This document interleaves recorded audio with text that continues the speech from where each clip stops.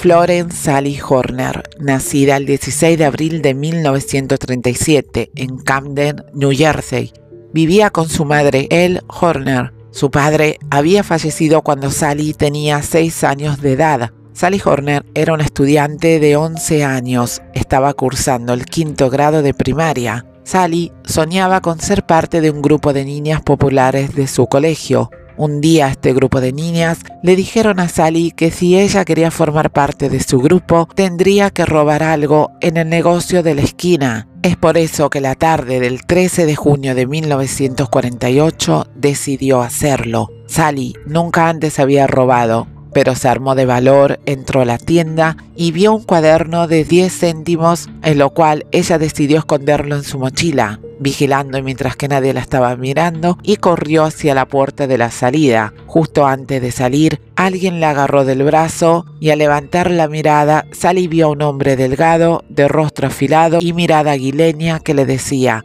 soy un agente del FBI y estás bajo arresto. Le dijo también que terminaría en un reformatorio para chicas como ella. Sally, escuchando esto, estalló de llanto. Ante los llantos de la niña, el desconocido dejó que se marchara, pero con la condición de mantenerse en contacto con él y obedecer a sus órdenes en el futuro. El hombre, que se había hecho pasar por un agente del FBI, en realidad se trataba de un pederasta llamado Frank LaSalle. Frank LaSalle tenía 50 años, había nacido en Chicago, pero vivía en Filadelfia y en varias ciudades de Jersey. Había estado en la cárcel por abusar de cinco niñas de entre 12 y 14 años de edad. Frank había sido condenado entre 2 y 5 años de prisión. Lo cierto es que solo cumplió 14 meses y luego salió en libertad. Una vez en libertad, se trasladó a Jersey, donde trabajaba como mecánico ocasionalmente, bajo diferentes nombres. Nadie sospechaba que este hombre tenía un largo historial por abusos a menores. Al día siguiente, cuando Sally salía de la escuela, el hombre volvió a presentarse al improviso, diciendo que las reglas habían cambiado. El gobierno exigía que Sally tendría que acompañar a Frank LaSalle hasta Atlantic City para una misión secreta. Le dijo que ella tendría la misión de convencer a su madre diciéndole que se iba a pasar unas semanas al mar con unas amigas. Fue entonces que el propio Frank LaSalle llamó a la madre de Sally, haciéndose pasar por el padre de las supuestas amigas que habían invitado a Sally a pasar unas vacaciones al mar. La madre en un principio dudó de este hombre, pero luego terminó accediendo. Ella creía que su hija estaba muy contenta con estas vacaciones y no quería arruinar su alegría. El 14 de junio de 1948, la madre de Sally acompañó a su hija hasta el autobús. Ella no imaginaba que no la volvería a ver por casi dos años. Una vez en Atlantic City, Sally y Frank se trasladaron a una casa de huéspedes en el 203 de Pacific Street. Frank le dijo a Sally que si ella intentaba escapar o contarle a alguien la verdad, la llevaría detenida y terminaría en un reformatorio por el resto de su vida. Según el gobierno, le había pedido que él cuidara de ella para que no volviera a cometer otros robos. Frank LaSalle usaba el nombre falso de Frank Warner. Durante seis semanas llamaron a la madre de Sally desde estaciones de servicios para contarle lo bien que la estaban pasando. Ella pensaba que su hija estaba de vacaciones de verano con unos amigos y no sospechaba nada. Después de ese tiempo, Sally llamó a su madre diciéndole que se quería quedar más tiempo para ver la película Ice Follies. A la segunda semana, las excusas fueron todavía más vagas y a la tercera semana no hubo más llamadas de teléfono. Las cartas de su madre eran devueltas al remitente como no entregadas. La última carta que recibió su madre fue el 31 de junio de 1948. En la carta había una noticia perturbadora. Su hija Sally, con sus supuestas amigas y el supuesto padre de estas, se irían a Baltimore. En la carta también decía, no quiero escribir más. Fue ese mismo día que la madre de Sally, al leer la carta, tuvo un presentimiento, sintió que su hija había sido engañada. Es por eso que la madre salió corriendo ese mismo día a llamar a la policía. La policía de Atlantic City llegó a la casa de huéspede de Pacific Street, donde habían estado Sally y su secuestrador. Cuando la policía llegó, ya se habían marchado del lugar. En la habitación encontraron dos maletas llenas de ropa, como si sus propietarios se hubieran marchado apresuradamente. También había varias postales que no se habían entregado a la madre de Sally y una fotografía de Sally en un columpio. Ella Horner, la madre de Sally, dijo que nunca antes había visto esta fotografía, lo que quiere decir que la fotografía del columpio había sido tomada por su secuestrador. La policía a todo esto tuvo que darle la terrible noticia a Ella Horner diciéndole que el hombre que tenía a su hija no se llamaba Frank Warner, sino más bien Frank LaSalle. Le contaron también que seis meses antes de secuestrar a su hija había salido de prisión por abusos a varias niñas. La madre de Sally se echó a llorar desconsoladamente. Estaba destruida y tan arrepentida de haber dejado a su hija en manos de un depravado. Sally y su secuestrador pasaron cerca de dos años viajando por todo el país. Estuvieron por Atlantic City, Baltimore, Dallas, California. Se la pasaron de motel de carreteras hasta campings, haciéndose pasar siempre por padre e hija. Frank LaSalle había abusado sexualmente de Sally en varias ocasiones y con la amenaza que podría mandarla a un reformatorio por haber robado un cuaderno de 10 centavos, la tenía atrapada. Sally no imaginaba que había sido secuestrada por un delincuente. Ella seguía creyendo que él era un agente del FBI. A pesar de estar secuestrada, ella tenía ciertas libertades para moverse sola. Cuando estuvieron viviendo en Baltimore, Sally estaba asistiendo a la escuela católica de St. Anne, a poca distancia de su nuevo hogar, en el cual acudía a la escuela bajo un nombre falso.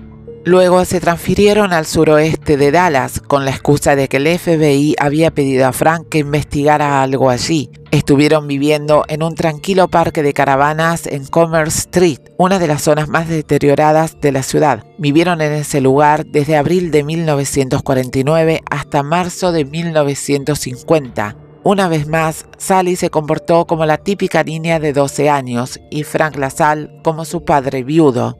Ella asistió a la escuela católica de Nuestra Señora del Buen Consejo. Según sus maestras, era una buena estudiante.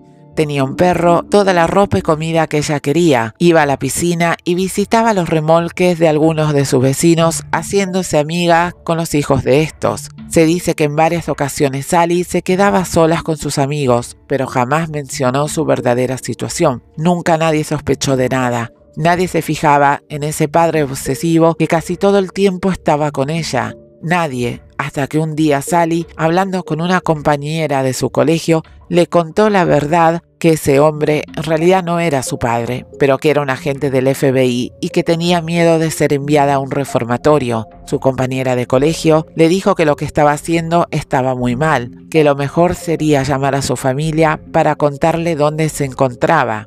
Fue así que el 21 de marzo de 1950 la suerte estaría a favor de Sally. Esa mañana Frank se fue a buscar trabajo al centro de la ciudad. Esa misma mañana, Ruth Janis, una vecina que conoció a Sally y a Frank en el parque de caravanas, al ver que Frank se estaba marchando solo, aprovechó el momento para hablar con Sally. Ruth sospechaba por el extraño comportamiento de la niña que aquel hombre no era su padre así que animó a Sally a que le contara la verdad. Sally Horner se derrumbó, contándole entre lágrimas que quería volver a su casa, que quería hablar con su madre y su hermana mayor. Finalmente Sally logró telefonear a su hermana mayor y le dijo que quería irse a casa y si podría enviar al FBI por ella. La policía recogió a Sally y fue trasladada a un centro de menores. Ese mismo día, la policía de San José estuvieron esperando a Frank LaSalle. Fue así que por la noche arrestaron a Frank LaSalle cuando éste regresaba al vehículo en el que habían estado viviendo con Sally por casi un año.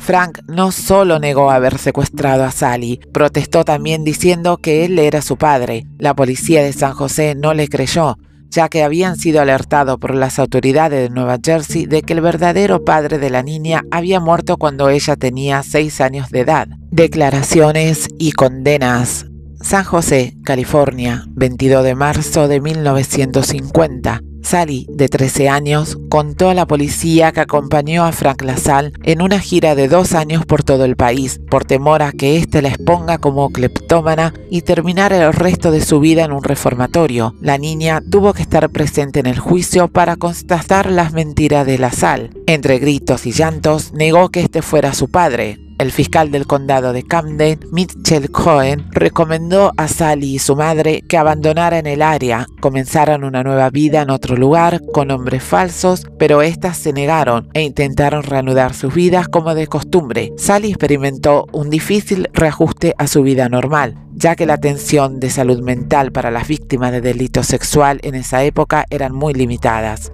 Sally Horner sufrió frecuentes burlas y abusos por parte de sus compañeros de clase, que la acusaban de haber provocado deliberadamente la atención de su secuestrador.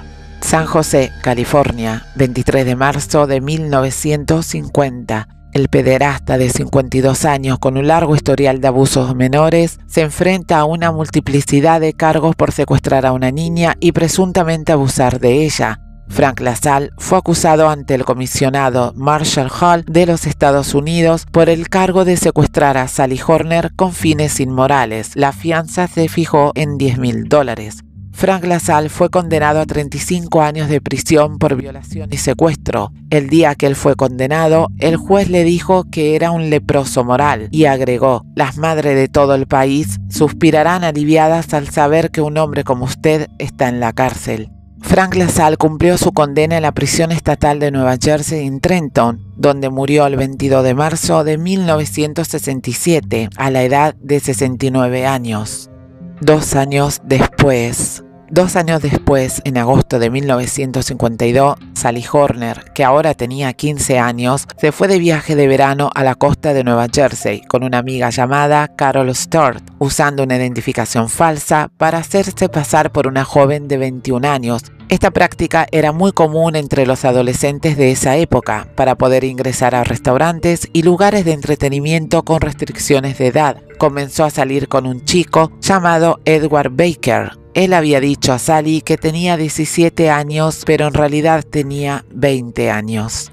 Sally le pidió a su amiga Carol que si le molestaba regresar sola a Camden, porque ella prefería ir a otro sitio con Edward y después tomaría un autobús ella sola para Camden. Carol le dijo a su vez que no había ningún problema. Mientras viajaban en el sedán Ford negro modelo 1951 de Edward Baker, en la noche del 18 de agosto de 1952, Sally y Edward tuvieron un accidente automovilístico. El coche en el que viajaban se estrelló con la parte trasera de un camión estacionado al cual ellos no habían podido verlo en la oscuridad. Edward escapó con laceraciones y algunos huesos rotos, pero Sally Horner murió en el impacto. Según el reporte médico, Sally Horner sufrió heridas masivas y fatales en la cabeza, el cuello y en el pecho. Datos curiosos.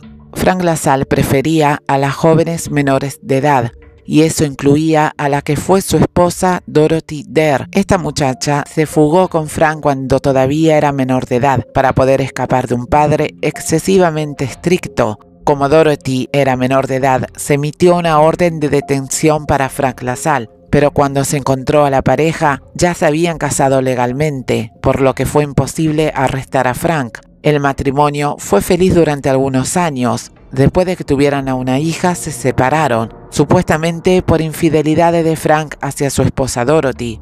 El 4 de septiembre de 1942, Frank LaSalle fue acusado de abusar de cinco niñas de entre 12 y 14 años de edad, condenado a pasar entre 2 y 5 años en la prisión estatal de Trenton. 14 meses después salió en libertad condicional y 6 meses después conoció a Sally Horner. Frank LaSalle, mientras se encontraba en la prisión por lo que le había hecho a Sally, presentó apelaciones repetidas. Todas sus apelaciones no tuvieron éxito, además de rechazar un abogado e intentar actuar como su propio abogado. Incluso se dice que envió un ramo de flores en el funeral de Sally Horner. Lolita. Lolita de Vladimir Nabokov, un escritor ruso, es el relato de la historia de un hombre llamado Humbert Humbert, el cual mantiene una relación amorosa pero enfermiza con su hijastra de unos 12 años de edad llamada Dolores As, al cual él denomina Lolita. El impacto de esta novela fue más allá de una narrativa, ya que la historia se introdujo en la cultura a nivel internacional. Puso también de relieve la palabra Lolita y la conceptualiza como una mujer adolescente, atractiva y seductora, haciendo referencia a las características del personaje. Llevó 50 años descubrir la conexión que había entre Sally Horner y Dolores As. El caso de Sally fue muy seguido por los medios, pero pronto terminó cayendo en el olvido. Uno de los biógrafos de Nabokov, Brian Boyd, mencionó el secuestro como una de las fuentes que el escritor obtuvo de la prensa.